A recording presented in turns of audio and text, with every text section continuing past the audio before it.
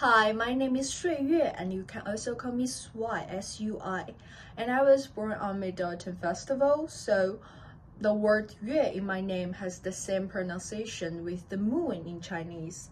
I was born and raised, raised in Chongqing, which is in the southwest of China.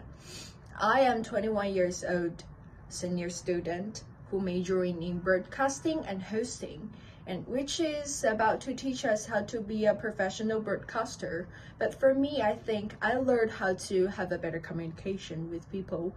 And in my daily life, I really enjoy to chatting with different people and to unfold various things in front of me. And I have done some part-time jobs and internships.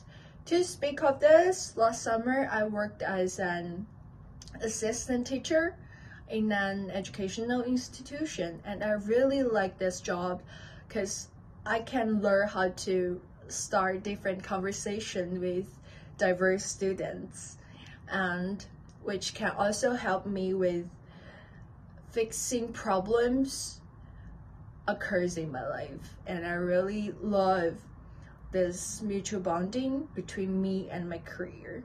And on my days off, I am fond of traveling and taking pictures.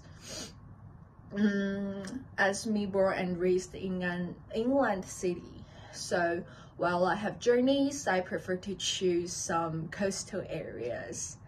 Uh, and finally, I mm, about my mm, original intention to go into America is to experience different cultures and feel the vibe on the other side of the world.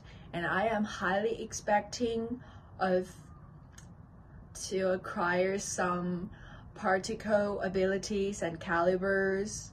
And the last and not least, I wish I could be better me after all.